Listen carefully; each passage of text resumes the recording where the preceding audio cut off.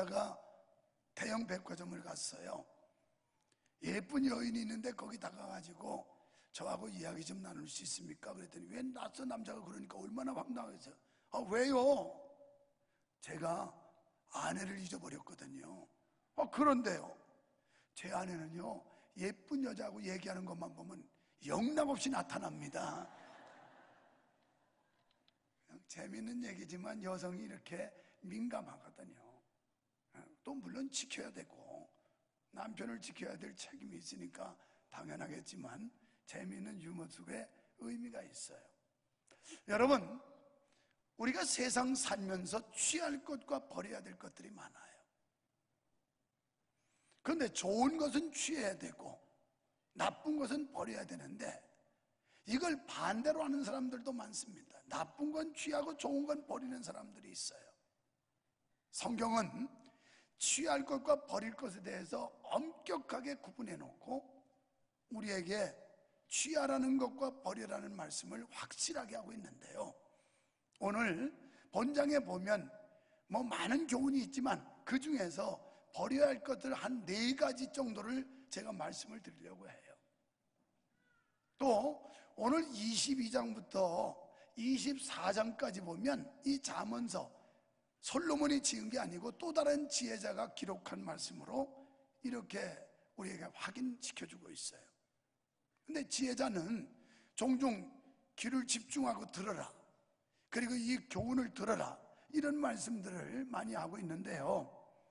본장에서 하나님의 백성이 마땅히 삼가야 할 악한 행실에 대해서 가르쳐 주고 있습니다. 그러면서 지혜자는 중간중간 자신의 지혜의 말에 귀를 기울이라고 말씀하는데 이 길만이 생명의 길이고 이것만이 영생을 얻는 길이기 때문이라 이렇게 말씀을 해요.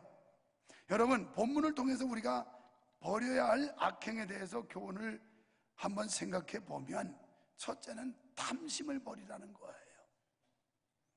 지혜자는 성도가 버려야 할 것 가운데 첫 번째가 탐심이라고 말씀합니다. 그 중에 2절에 보니까 내가 만일 탐식자여든 내 목에 칼을 둘 것이니라. 야, 이거 먹기 좋아하는 사람들 긴장해야 되겠어요. 탐식자이거든 목에 칼을 두래요. 그건 뭐라는 거예요? 목줄 끊고 죽으라는 겁니까? 뭡니까? 근데 그 말이 아니라 세 번역에 보면 이렇게 기록됐어요. 내 입에 멍을 씌워라. 절제하라는 얘기입니다. 이 먹는 거.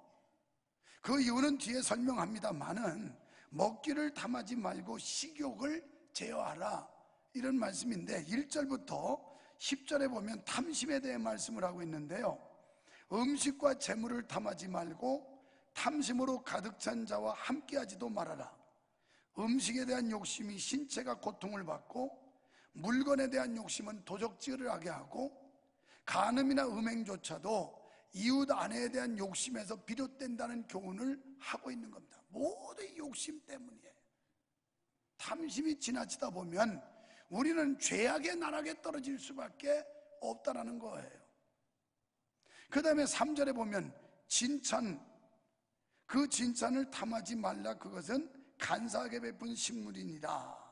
진수성찬, 잘 차려놓은 음식, 이거 탐하지 말래요. 앞으로는 뷔페 절대 가지 마세요. 중국집에 코스 요리 절대 먹지 마세요. 그 다음에 한정식에 그 코스 먹지 마세요. 왜? 칭찬을 탐하지 말라는데 성경에. 그런데 그런 뜻보다는 우정을 나누기 위한 음식이 아니고 어떤 정치적 목적으로 대접하는 그러니까 그 음식에 담겨져 있는 좀 불량한 목적이 있는 이런 음식을 함부로 대접하지 말라는 거예요. 쉬운 말로 말하면 뇌물성 대접이라 이 말이에요. 이 뇌물성 대접을 받으면 언젠가 거기에 코가 껴가지고 그것 때문에 낭패를 겪기 때문에 우리가 이 지혜로운 처사, 인생을 지혜롭게 살기 위해서는 이렇게 처신하라는 이런 교훈을 주고 있는 겁니다. 그 다음에 4절에 보니까 부자 되기에 쓰지 말래요. 여러분 가난한 거 한탄하지 마세요. 성경에 보니까 그건 뭐 이렇게 부자 되지 말라네요. 그래도 부자는 돼야 되지 않겠어요? 뭐 뭐니 뭐니 해도 뭐니가 최고인데 뭐 되긴 돼야 될 텐데 나쁜 방법, 부정한 방법, 불의한 방법, 사악한 방법 이런 부분 이런 방법으로 재물을 모아서는 안 된다는 얘기입니다. 그래서 오늘 사절에 부자 되게 애쓰지 말라. 지나치게 재물에 탐닉하지 말라는 거예요. 여러분이 신앙생활 하는데도 지나치게 재물에 집착하면 믿음 생활 제대로 못해요. 인색한 사람은 제가 보니까 언제 걸려도 걸리더라니까요. 그래서 제가 그걸 알고 우리 교회는 그냥 자발적으로 자율적인 헌금을 하라고 헌금함을 저 바깥에 놔놓고 바구니를 안 돌리는 이유가 그래서 안 돌리는 거예요. 매주 돌리면 그래도 한 350만 원, 400만 원 더 나올 텐데 우리가 구정금 어, 걷는다고 마지막 주에 한번 돌리면 그때 나오는 게 그 정도 나오는데 한번 돌려볼 만도 한데 왜냐면 어떤 사람은 기분 좋다가도 헌금 얘기만 나오면 자라목이 돼요. 이렇게 들어가. 여러분 하나님의 은혜가 여러분과 함께 하시기를 축원합니다. 아멘. 그러다가 돈 좀 내시기 바랍니다. 노면 이래. 그래서 그냥 편안하게 예수 믿으라고 헌금을 자율제로 저기다 놔뒀거든요. 재물에 너무 집착하지 말라는 거예요. 그러면서 5절에 보면 돈은 날아간대요. 여러분, 우리 수중에 있을 때 잘 쓰셔야지 돈이 내 수중을 떠나서 날아가 버리면 그거 쓰고 싶어도 못 써요. 그러니까 하나님께서 내가 오늘 기도하면서 하나님 물질을 소유할 수 있는 은혜도 주셨고 그리고 예물을 하나님 앞에 드릴 수 있는 은혜 주신 거 감사합니다. 이게 얻을 수 있는 은혜와 바칠 수 있는 은혜. 이 물질 관계가 이 돈이라고 하는 건 사람들은 제2의 생명이라고 말할 만큼 아주 소중하게 여기잖아요. 오죽하면 예수님께서도 내 물질 있는 곳에 내 마음도 있대요.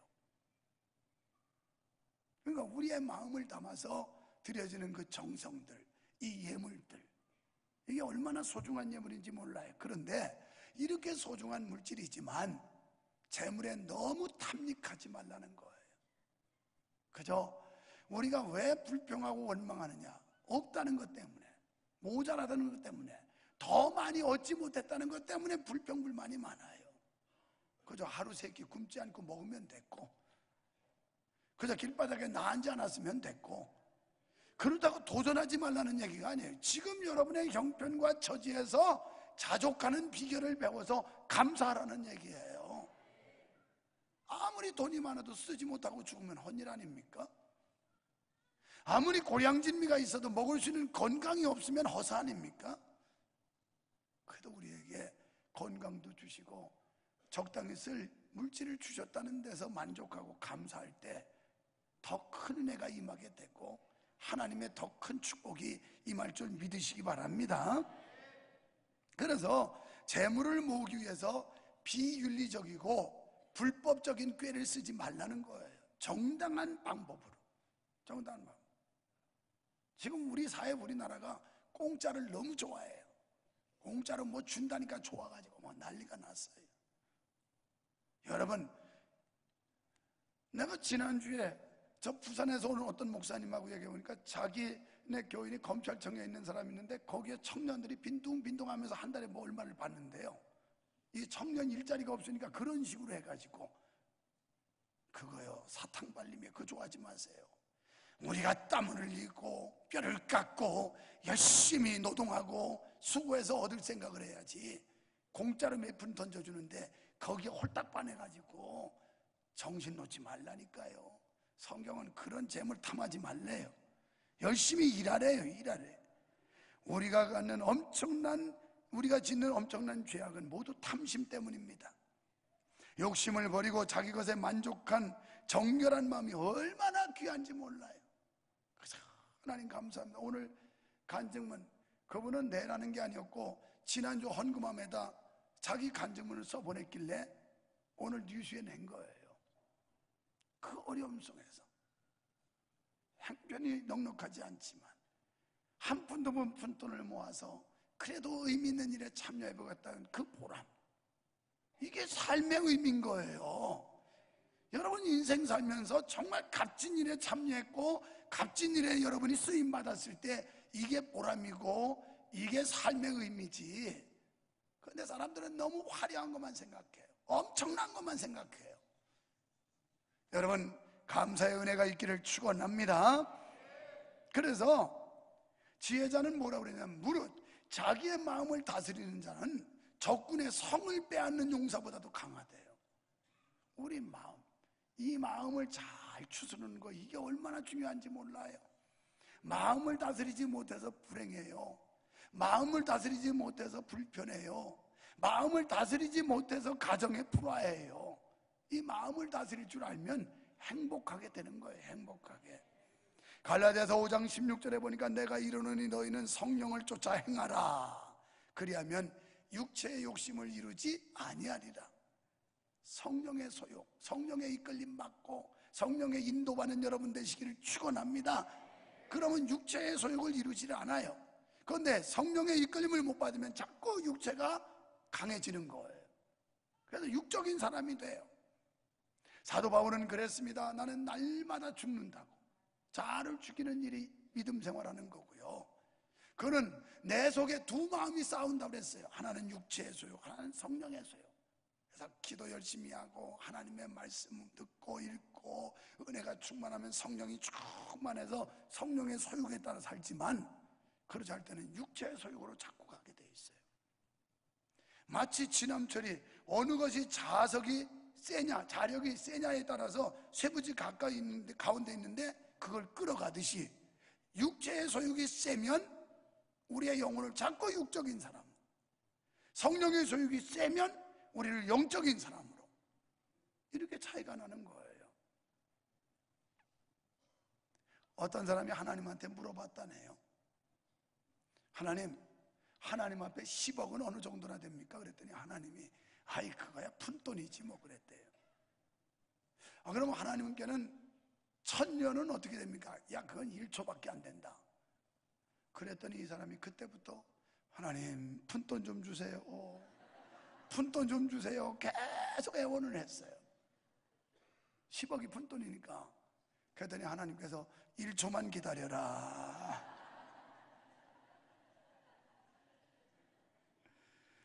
오늘 우리식으로 계산하니까 문제예요.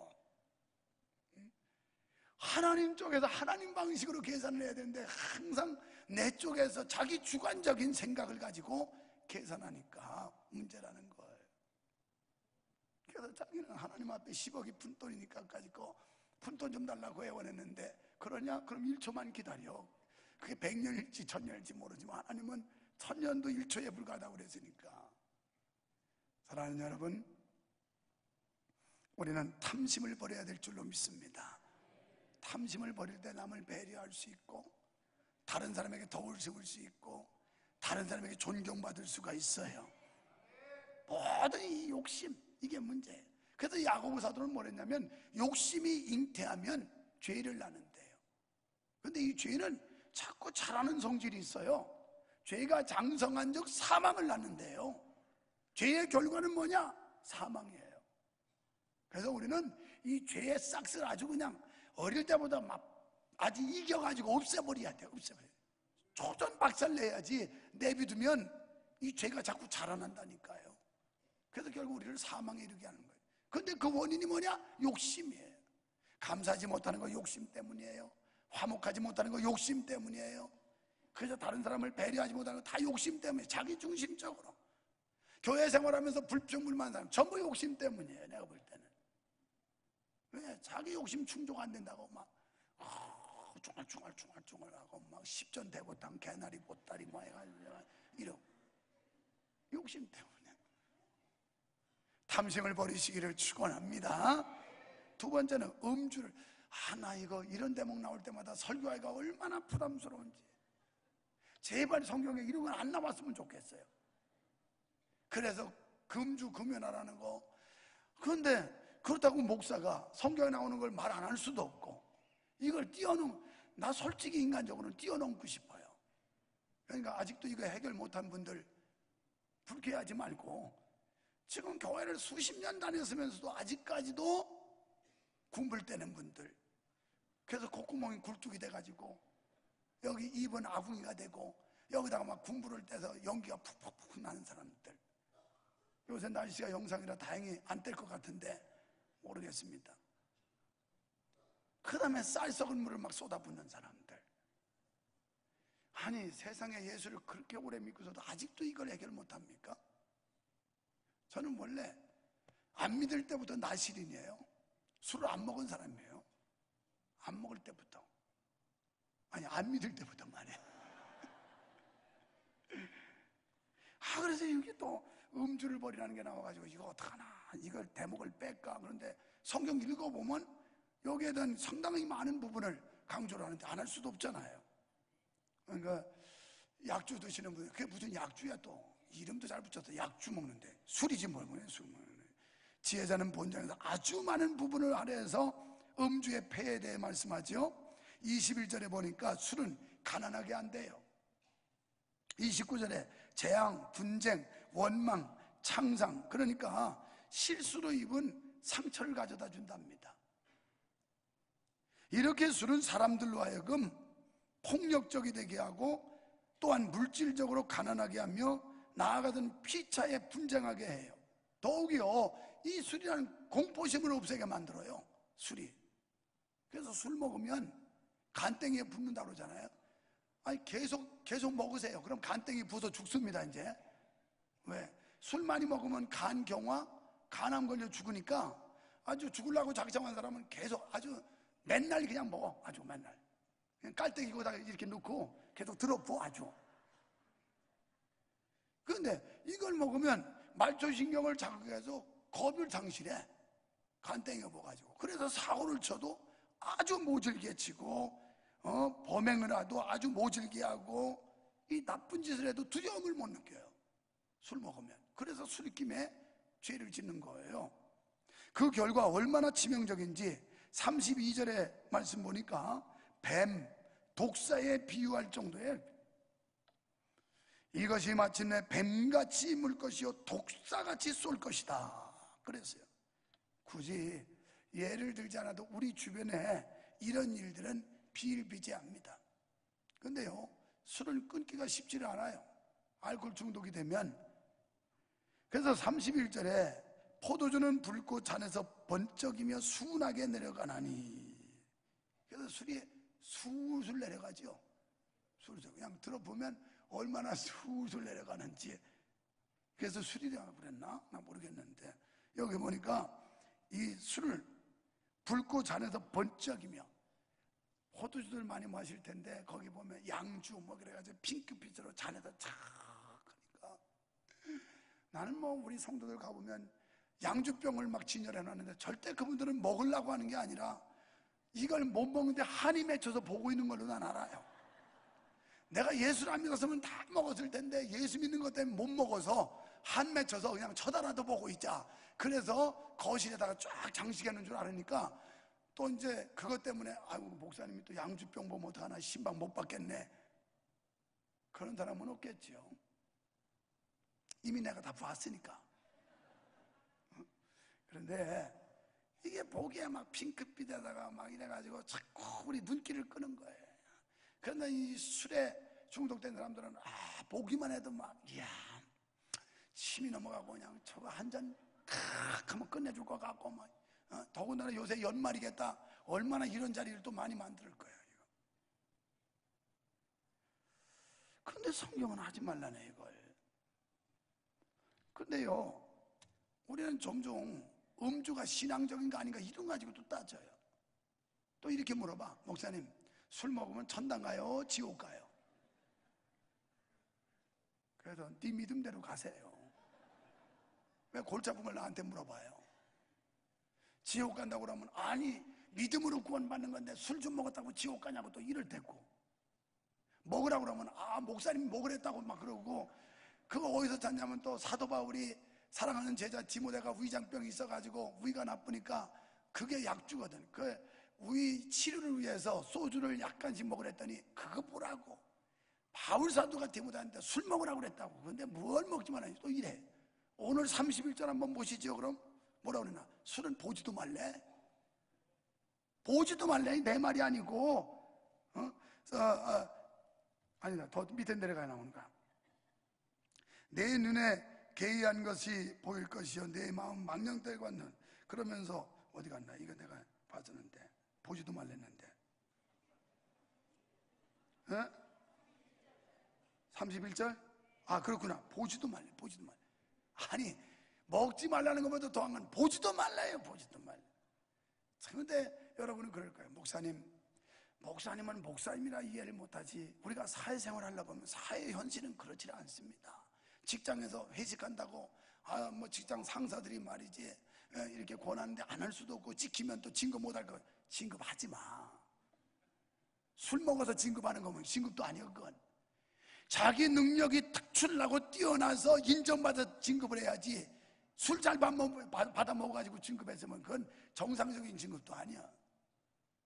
광훈이 집사님 아멘이잖아. 여기는 하도 목사님 같아가지고 상사들이 너는 믿어도 너무 좀 너무 중독적으로 믿는다. 어떻게 예수를 막 여기는 아주 삼성에서 평가가 받은 사람이에요. 인정받고. 어. 그러니까 저렇게 맨 앞자리 나오잖아. 술 먹는 사람들 다 뒤에 있어요. 왜냐하면 다 벌써 마귀가 오늘은 이 술을 끊으라는 얘기가 나올 테니까 너 절대 앞에 가면 눈치 보이니까 가지 말고 뒤에 앉아라. 다. 아 마귀는 영물입니다. 그래서 앞에 올라고 나는데 못 가게 하는 거예요. 너 가면 걸린다 오늘 걸리니까 뒤에 앉아라. 이런 오해 안 받으려면 앞에 앉으세요. 왜 사람으로 하여금 오해를 하게 해요? 그래서 이게 이제 음주 문제가 신앙 문제를 다투기 전에 술로 인한 피해를 살펴본다면 음주는 성도의 경건 생활에 전혀 도움이 안 된다는 거예요. 도움이 안 돼. 도움되면 아, 잡수라고 하지요. 근데 이렇게 보면요. 여러분이 뭐 헌금 몇 푼 내는 거 뭐 아까울 것도 없어요. 담배값 절약하고 술값 절약하면 해도 그보다 더 많이 내야 돼, 뭘. 그렇잖아요. 뭐, 예수 믿으려니까 뭐 헌금을 내야 돼서 이게 부담스럽다고. 아니, 건강 유지하고, 또 헛된 데 돈 안 들어가고, 그래서 절약 헌금만 생각해도 내가 볼 때는 한 100만원씩, 200만원씩 내야 되겠네, 한 달에. 그 계산해 보라니까 남는 장사지 이게.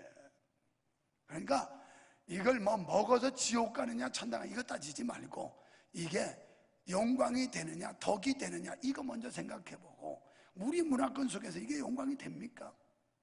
오래전 얘기예요. 저하고 가까운 분이 세브란스 원목실에 수석 전도사였어요. 다는 아니겠지만 자기가 너무 괴로운 게 거기 원목 목사님이 미국에서 유학도 하고 그랬는데 뭐 그때 당시 그냥 뭐 어떤 집안이면 또 자존심 상하니까 안 하겠어요. 근데 의사들하고 회식하면서 아 목사님 한잔 하시죠. 아 저는 못합니다. 아 목사님 이게 무슨 죄입니까? 그리고 목사님 아 목사님 요즘 깨인 목사님들 열린 목사님들은 뭔가 소통하기 위해서 이거 합니다. 뭐 그러면 못 이기는 척하고 이제 받아 마신대요. 그래가지고 아 역시 목사님 깨이셨다고 아, 이런 목사님들이 뭔가 소통이 되고 젊은이들하고 소통이 된다고 그래놓고 다 끝나고 나면 뒤에서 뭐라 그러냐면 저런 게 목사야? 저까지 게 목사야? 그렇게 한 놈도 나쁜 놈이지만 당한 놈도 나쁜 놈이야 그래서 자기가 그때 너무 괴롭다는 거야 뭣도 모르고 목사님이 거기에 홀려가지고 그 유혹에 넘어가서 술 마시는데 의사들이 뒤에 돌려놓고서는 저게, 저게 목사야 저 가짜지. 여러분 우리 한국 문화 속에서 그걸 먹느냐 안 먹느냐 중요한 게 아니라 적어도 교회 다니는 사람 신실한 신자라고 하면 이 두 가지 금기사항은 누구나 안다. 이렇게 인식이 돼 있잖아요. 그게 우리나라 이 기독교 문화 아닙니까? 그렇다면 이것을 해서 하나님께 영광이 되느냐 사람들에게 덕이 되느냐를 생각해야죠 고린도전서 10장 31절에서 너희가 먹든지 마시든지 무엇을 하든지 직장 생활하든지 사업을 하든지 어, 밥을 먹든지 뭐 뭘 하든지 마시든지 음료수를 마시든지 하나님의 영광을 위해 하라는 게 성경의 가르침 아니에요. 이게 구별된 삶이에요. 적어도 기독교인이라면 그렇게 살아야 돼요. 할렐루야. 여기 우리 집사님 여기 이제 장본인이 있으니까 얘기하는데 대령으로 예편해가지고 어저께 정말 군의 그 어, 장교들끼리 아주 기묘한 모임. 이거 빠지면 정말 이건 뭐 욕을 바가지로 먹는 이런 모임인데 지난주 설교를 듣고 결단한 거예요 부부가.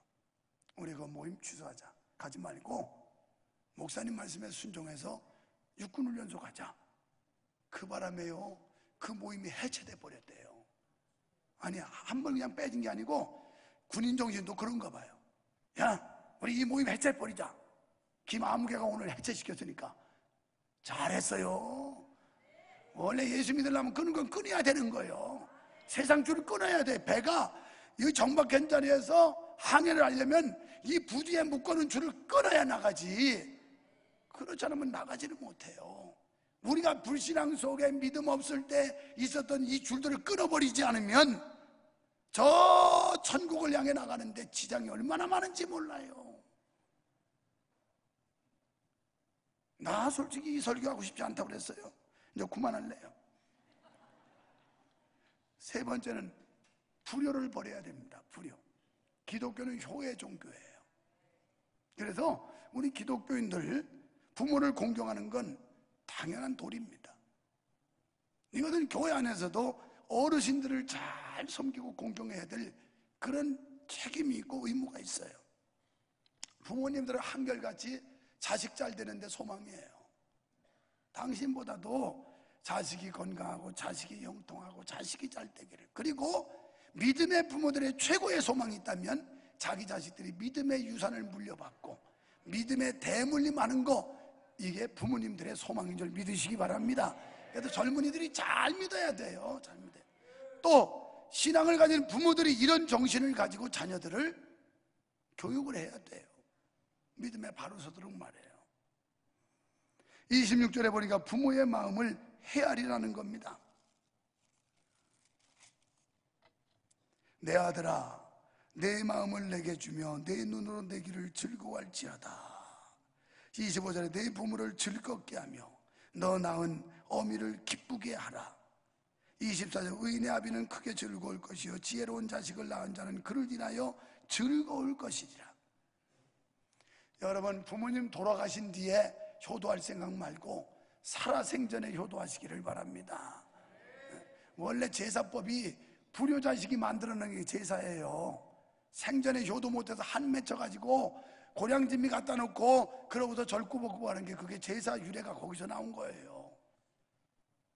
우리는 부모님을 생전에 계실 때 용돈 한 푼이라도 드리고 고기 한 근이라도 사다 드리고 이게 진정한 효도인 거예요. 연세 드신 분들 교회 다니라고 그러면 아이고 자식들 교회 나가는 거 반대하는 이유도 나 죽으면 찬물 한 그릇도 안 떠놓을까봐 나는 그래서 교회 반대한다고 그까지 그 죽은 뒤에 찬물 말로 갖다 놔도 소용없어요.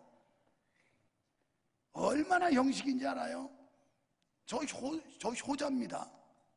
이래봬도 교회도 약간 괴팍한 것 같지만 아주 효자예요. 제가 결혼할 때 우리 집사람한테 첫 번째 조건이 돈도 명예도 뭐 아무것도 아니고 우리 어머니 모실 준비 됐느냐 이거예요 내가. 이 정도면 효자지. 얼마나 더 효자야. 그래서 그게 첫 번째 조건이었어. 그거 답 들고 내가 교제한 거예요. 오케이 했을 때. 안 믿을 때 우리는 뭐 유교 전통이 있으니까 우리 아버지 돌아가셨을 때 그래도 제일 끈덕지게 효도, 효도한 사람이 나예요. 그래서 여기다 이제 고연이라고 그래서 제청 만들어 놓고 초하루 부름으로 이제 일가 친척 다 모여가지고 그때는 거하게 상망이라고 하지요. 그리고 아침 저녁으로 상식이라는 걸 떠다주는데 내가 열심히 우리 아버지 돌아가신 아버지 굶을까봐 아침에도 밥 떠다 놓고 젓가락 쩔렁쩔렁 세 번 두드리고 아버지 밥 갖다 놨습니다 잡수세요 그러고 또 저녁에 다시 이제 그또 새밥 갖다 놓고 또 흠밥 빼고 또또 저거덕 저거덕 새밥 갖다 놨으니 저녁 드세요. 근데 이렇게 효도한 사람이요? 다 소용없어. 몰라서 무지해서 한 얘기야. 그리고 얼마나 형이 제사 지낼 때 꼭 11시 넘어도 12시 가까이 이제 제사를 지내는데 몇 번 절구벅구벅하고 뭐 잔 따라 놓고 젓가락 따라 하고 그러고서 잠깐 나가자. 그래서 다 나가요 나가서 10분도 못, 못, 못 버텨 겨울에. 춘대 대청마루에서. 그래서 한 5분 있다가 다 드셨습니까? 가십시오 이제. 이런 불효막실한 자식들이 어디 있어요? 그냥 계속 차려놔야지 계속 잡수라고. 아니 5분 10분도 시간을 안 주고 헛기침 하는 거 이제 가라고. 이러면 문 열고 들어가면 이제 에, 조상들이 왔다 도망간대 이제 그게. 다 쓸데없는 일이에요 쓸데없는. 우리도 열심히 해본 사람이야. 나도 안 믿을 때 열심히 한 사람이요 근데 무지하니까 그런 거예요 무지하니까. 효도하려면 살아생전에 하세요 살아생전. 지금 여러분 부모님들 계실 때 하세요. 돌아가신데 울고불고 애걸복동해도 다 소용없어 쇼지 쇼. 근데 어떤 사람이 또 그런데 아, 그 제사 음식을 처음에 차려놨을 때 하고 나중에 다 끝난 뒤에 근량을 달아보니까 줄었다는 거예요 근량이. 이런 덩신들. 아니 과학도 몰라? 수분은 증발하게 돼 있는데 그럼 당연히 무게가 줄지. 똑똑한 것 같아도 인간들이 얼마나 어리석은지 몰라요. 그걸 보고 뭐 돌아가신 조상님이 잡숫대 그걸 또. 밥을 퍼먹었어야지 그러면. 조상님이 밥그릇에 밥이 푹 들어가서 한 숟갈이 없어졌는데 그러면 믿어주겠는데 근량이 줄었대 그게 근량이 다 소용없어요 부모님 위해 기도하세요 여러분의 부모님 돌아가시기 전에 예수 믿고 구원받기를 기도하세요 부모된 여러분 여러분 자식들 예수 잘 믿게 해야 효도받을 줄 믿으시기 바랍니다 출애굽기 20장 1절, 12절이나 에베소 6장 1절 이하에 보면 부모 공경에 대한 말씀이 나와요. 그래서 우리 믿는 사람들 철저하게 부모 공경해야 돼요. 네 번째, 빨리빨리 가야 되겠다. 음행을 버려야 됩니다. 중요한 거예요. 지혜자는 마지막으로 주의 백성이 삼가야 할 악행을로 음행 문제를 들고 있는데 여러분 하나님께서 천지를 창조하신 후에 인간의 최초의 제도를 준 게 가정제도예요. 가정. 그래서 남자와 여자가 만나서 가정을 이루고 이게 사회 구성의 최초의 사회입니다. 때문에 이 제도가 얼마나 거룩하고 신성한 제도인지 몰라요. 그런데 음행은 바로 이런 신성한 결혼 제도를 파괴하는 무서운 악행이 됩니다. 먼저 음행은 부부 사이의 신성한 혼인 계약을 파괴하고 음행한 자는 배우자뿐 아니라 하나님과의 관계도 단절되는 겁니다. 그리고 가정의 평화도 파괴해요. 부부 관계뿐 아니라 자녀와 부모 사이도 파괴됩니다. 가정의 질서도 서서히 무너지기 시작합니다. 바로 이것이 음행이 만연한 가정, 음행이 만연한 사회의 병폐. 이 사회가 건강해 이런 걸 막아야 되는데 이 정부 시책도 그렇고 사회도 그렇고 이런 걸 조장질을 하고 있어요 지금. 이건 무서운 시대예요.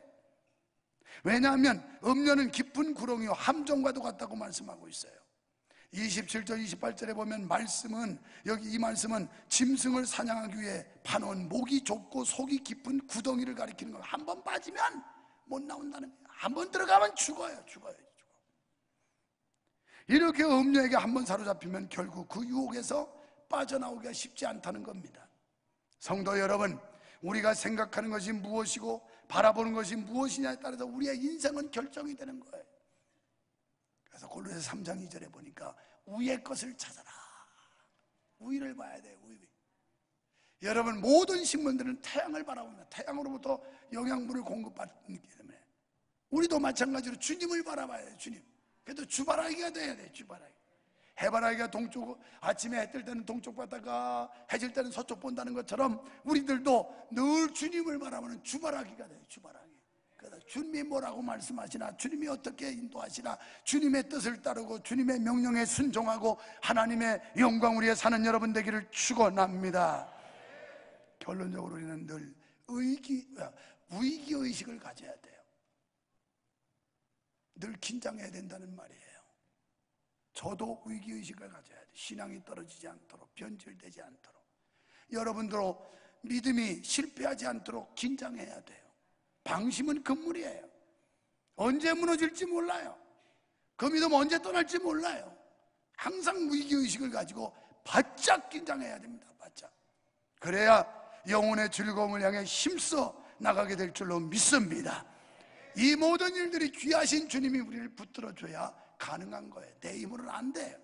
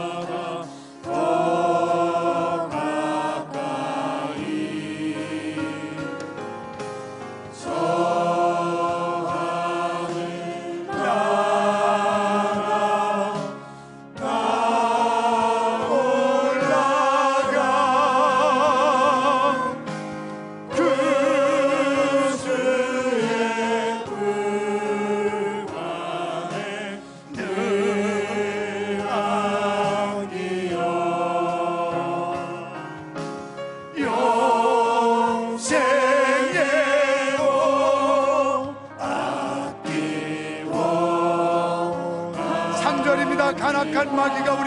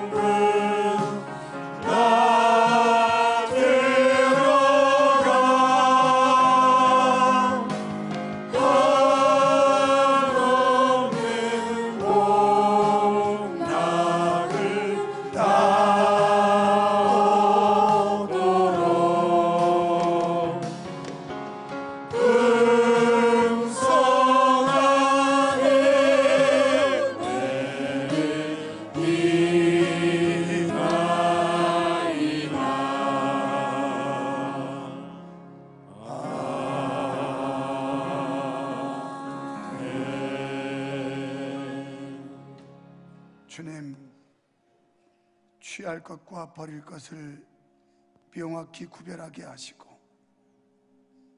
버릴 것은 과감히 포기하고 끊어버릴 수 있는 용기를 주시옵소서.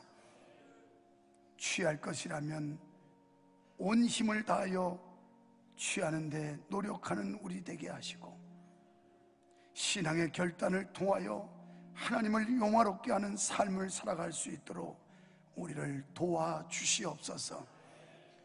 아무리 보아 아무리 생각해도 우리는 부족한 것뿐입니다.